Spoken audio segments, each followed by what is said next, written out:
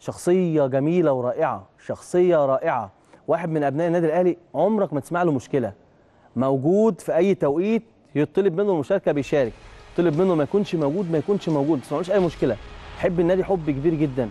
لكن هو في توقيت زي ما قال لكم كده بيبقى حاسس ومدرك إنه لازم يدور على نفسه. إن شاء الله إن شاء الله. كل التوفيق للكابتن أحمد عادل.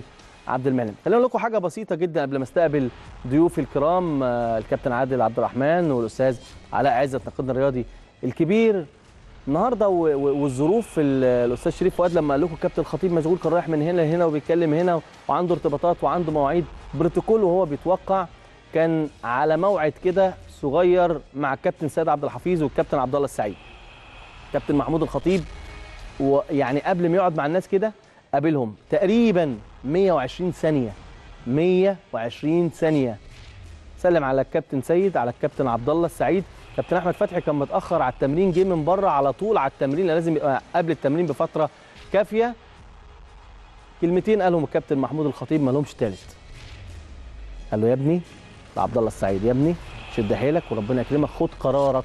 معاك 48 ساعة. علشان تبلغنا قرارك النهائي عشان إحنا عندنا احتياجات والتزامات. لازم نشوفها وربنا يوفقك في قرارك. مش أكتر ومش أقل من كده. وبعدها الرسالة وصلت للكابتن أحمد فتحي. كلام مهم وكلام ليه مضمون ولسه معانا كلام مهم وكلام ليه مضمون بعد الفاصل.